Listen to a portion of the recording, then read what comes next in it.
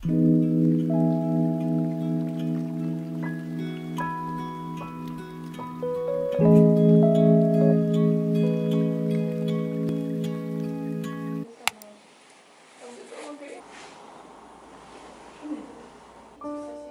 morning everyone. Today I have a class in the ceramic workshop where we'll be glazing clay.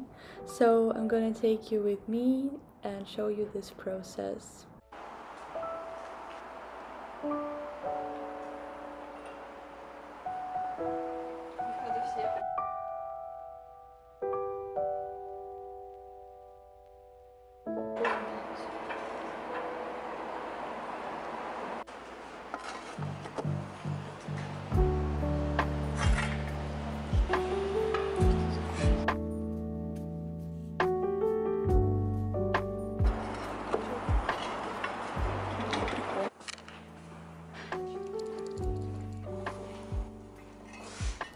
These are the tiles that I made previously. If you're interested, you can check out other videos where I made them.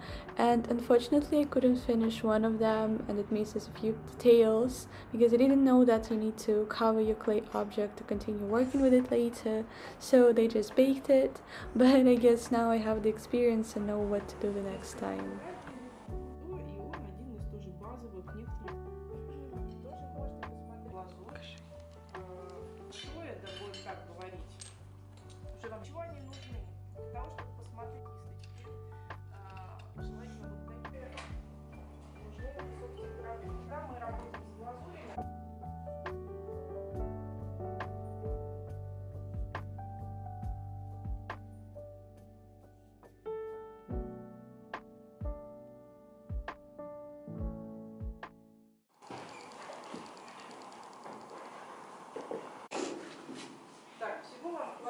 Можно наждачку попросить?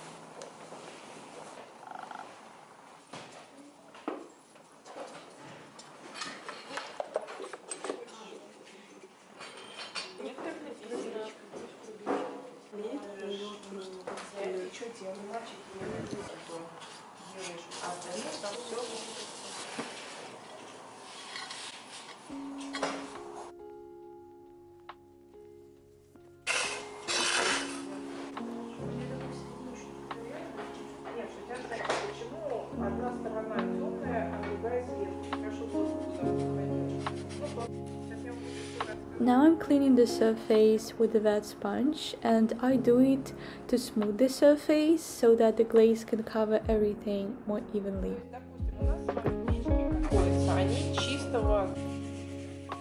And then using a sanding sponge, I'm smoothing the surface even better.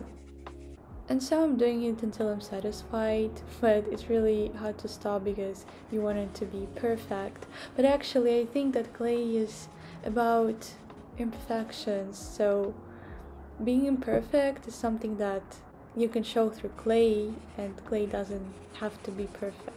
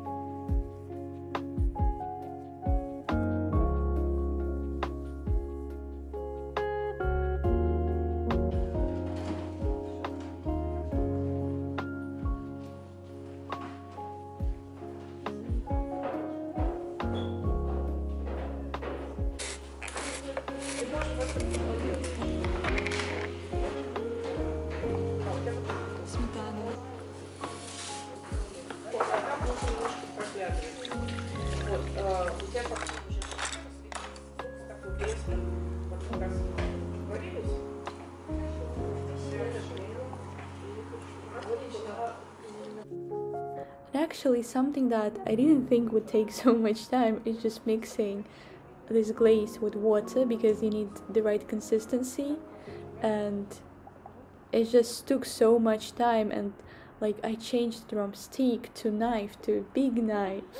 So yeah. As for colors, I decided to choose blue and brown. And what I'm mixing right now is actually blue, but it looks gray.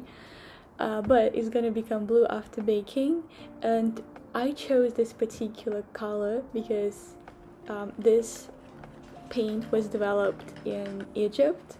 It's like the technique that is used for making this glaze right now is the same as it was in Egypt thousands of years ago and that made me so curious because it's just so amazing as I think to combine this kind of Asian traditional paint with something modern and uh, abstract like that my tile it looks abstract and yeah it just made me so excited to try uh, this combination of these two things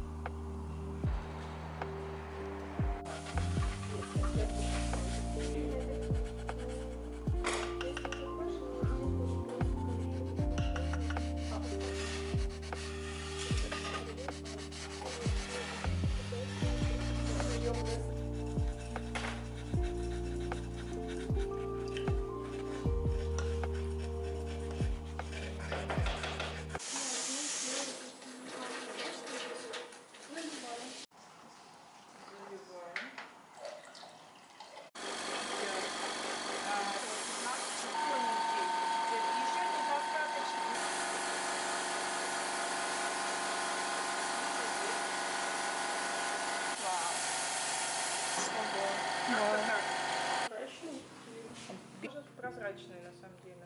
Я думаю, да. Думаю, оно придется показать, потому что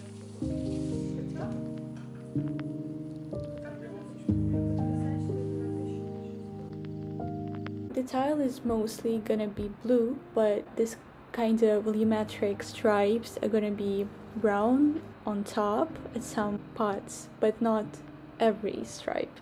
So yeah, you're gonna see it later I think when it is baked but not in this video so subscribe to see what the result is because right now it just looks kind of the same as it was but after baking it's gonna become really bright so I'm just really interested how it's gonna look.